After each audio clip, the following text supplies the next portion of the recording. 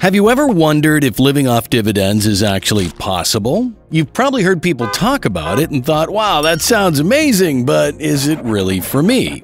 Well, here's the good news it absolutely can be, and the trick is knowing exactly how much you need to make it work, and it's probably a lot less than you think. Now, I get it. Figuring out how to live off your investments can feel like one of those goals that's always out of reach. I've been there too, feeling like it's some exclusive club for people with way more money than all of us. But here's the thing you don't need a fortune to start making dividends work for you. In this video, I'm going to solve this paradox of freedom. I'll show you four investment options, each requiring less investment than the one before. And in the end, I'll show you how to reach the same valuation and monthly dividends with just a $10,000 investment. There are tons of options out there when it comes to passive income, but dividend investing holds a special place in the investing world. Why? Well, it's a set it and forget it type of deal. Unlike other forms of passive income like rental properties, which can be incredibly lucrative, but let's face it, there's a lot more involved with rental properties than people like to admit. You've got maintenance issues and tenant problems, and let's not even talk about the nightmares of evictions. Sure, it's passive income, but it's far from hands off. Now, starting a blog or selling digital products, those are solid options too, but they require years of hard work to build an audience before you can even think about kicking back. With dividends, though, you're getting paid just for owning stock. You don't have to write content, maintain a building, or deal with customer service. Your only job is to invest wisely and let the dividends roll in. It's as simple as that. But of course, the simplicity of dividend investing comes with one major challenge. How much do you need to invest to actually live off it? It's a million dollar, or should I say multi million dollar question. How much do you really need to invest to live off dividends? If you've ever Googled this, you've probably come across some scary numbers. Financial websites and experts will often throw figures at you like $1 million, $2.8 million, or even more depending on how much annual income you want. The truth is, it's not as daunting as it sounds, at least not for everyone.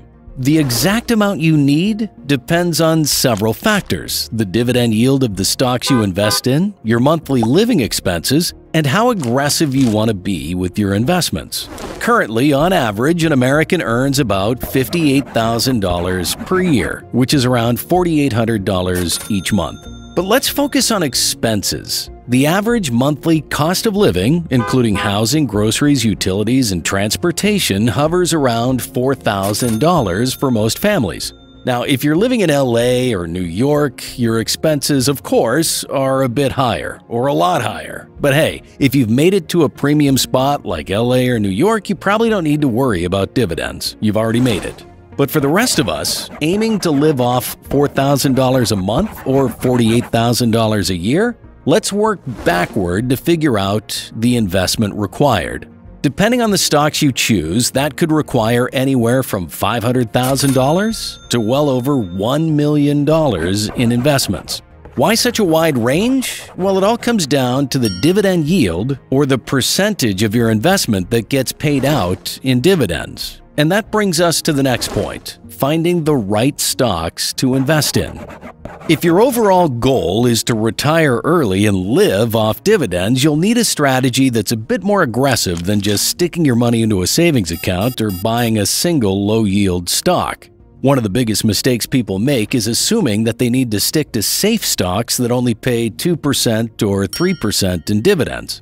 Yes, safety is important, but if you really want to retire early, you'll need to aim for a higher yield, or at least a balance between growth and income. Think of it this way if your investments are yielding only 2% and you need $48,000 a year, you'll need to invest a massive $2.4 million just to reach that goal. But if you find stocks or funds with a 6% yield, that same $48,000 only requires an $800,000 initial investment. See the difference? It's all about finding that sweet spot between risk and reward. One of the stocks that lie in that sweet spot is Federal Agricultural Mortgage Corp Class C with the ticker symbol AGM.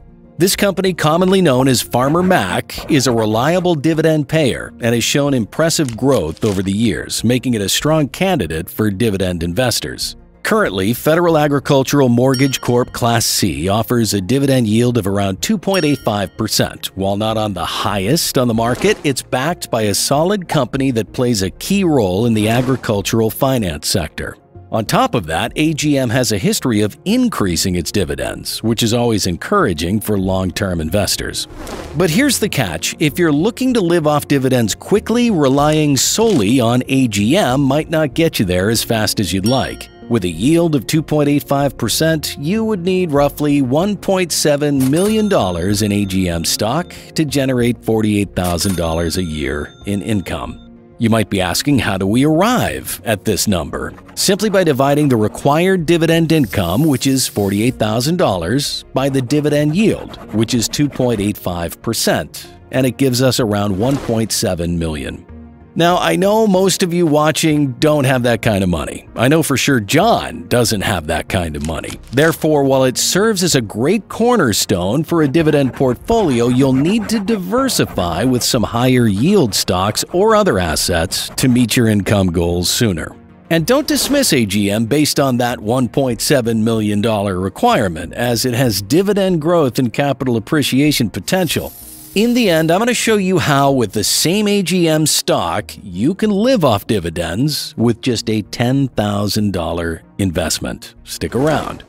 Now, if you're looking for higher yields, you might want to consider real estate investment trusts, or REITs for short.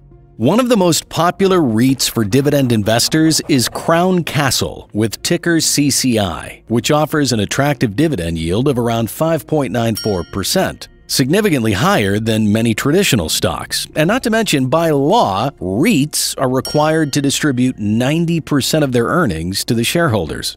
Why is this important? With a yield of 5.94%, you would only need about $810,000 to generate $48,000 per year, compared to the nearly $1.7 million needed for AGM. Crown Castle also pays dividends quarterly, which can help with consistent income for those relying on dividends for their day-to-day expenses. However, like any investment, REITs come with their own risks, especially if the real estate market experiences downturns. But with its higher yield and the stability of the telecommunications infrastructure sector, Crown Castle is definitely worth considering as a higher yield option in your portfolio. Speaking of portfolios, one of the most important rules of investing is diversification, and it brings us to our third option for the lowest capital needed to live off dividends. One of the golden rules of investing is diversification, essentially not putting all your eggs in one basket. Relying on a single company or even a single sector to provide your income is a very risky strategy. What happens if that company decides to slash its dividend? Or what if the entire sector faces a downturn? Like, if you were heavily invested in just one company like AGM, a sudden shift in the agricultural finance industry could impact your returns significantly. This is why it's crucial to spread your investments across multiple companies, sectors, and even asset classes to mitigate risk. Moreover, diversification not only reduces risk but also increases your potential for stable, long-term returns. An easy way to diversify your dividend investments is by purchasing dividend-focused exchange-traded funds, or ETFs. These funds are designed to hold a broad array of dividend-paying stocks from various sectors, giving you instant diversification without the hassle of hand-picking individual stocks. For instance, ETFs like Vanguard Dividend Appreciation ETF or iShares Select Dividend ETF offer exposure to multiple industries, ensuring that your portfolio stays balanced and resilient even during market fluctuations. In short, diversifying is like building a financial safety net, ensuring that no single market event can derail your entire investment strategy.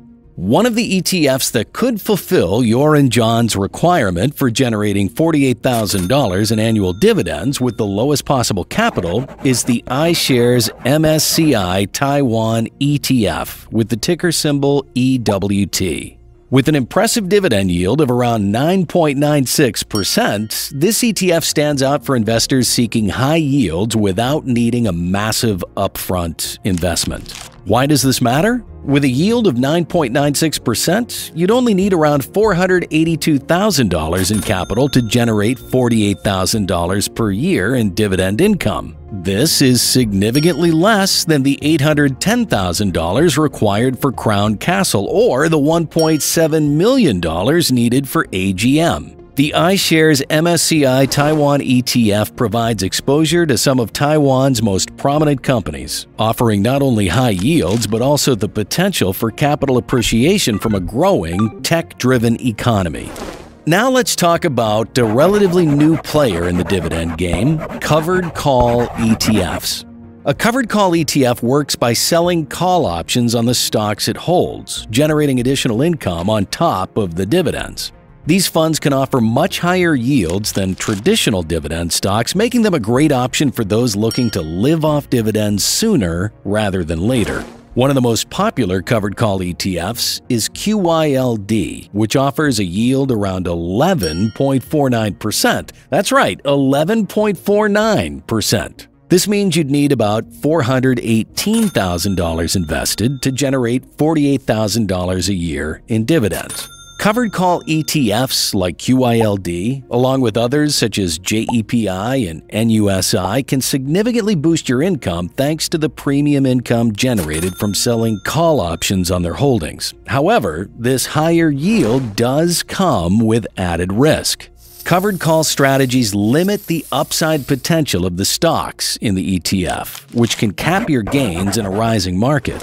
Additionally, these ETFs tend to underperform during times of extreme volatility, as the premiums from selling calls may not be enough to offset the losses in the underlying stocks. This makes QYLD and similar ETFs more suitable for those who are comfortable with potentially slower capital growth in exchange for higher immediate income. So let's take a look at how all these options stack up, comparing the potential returns, risks, and investment amounts needed to reach your dividend goals. Federal Agricultural Mortgage Corp Class C AGM has a dividend yield of 2.85%, making it the safest option. But you'd need approximately $1.7 million invested to generate $48,000 per year. While it's a stable company with consistent growth and dividends, the lower yield means you need a higher initial investment to meet your income goals. Crown Castle, CCI, with a 5.94% dividend yield, offers a higher income with significantly less capital required, around $810,000, but it's more exposed to risks in the real estate and telecommunications sectors.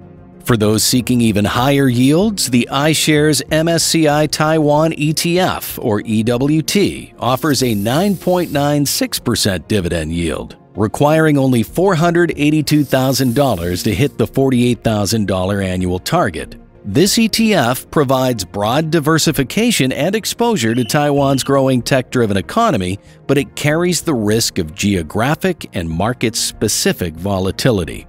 Lastly, the QYLD Covered Call ETF offers the highest yield at 11.49%, needing just $418,000 in capital. While it's an excellent option for generating immediate income, it comes with added risks, particularly in volatile markets, as covered call strategies limit the upside potential in rising markets and may underperform during periods of instability. Here's an extra tip for you. One of the best strategies for starting out with dividend investing is to reinvest those dividends. Instead of cashing out, you can reinvest the dividends back into purchasing more shares, which generates even more dividends over time. This is where the magic of compounding truly shines.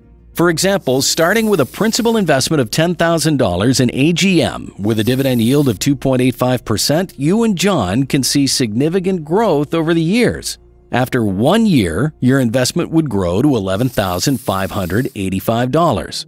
Over 10 years, this compounds further to a portfolio value of $45,140. The real magic happens over 20 years, where you would see your total investment valuation reach $224,327.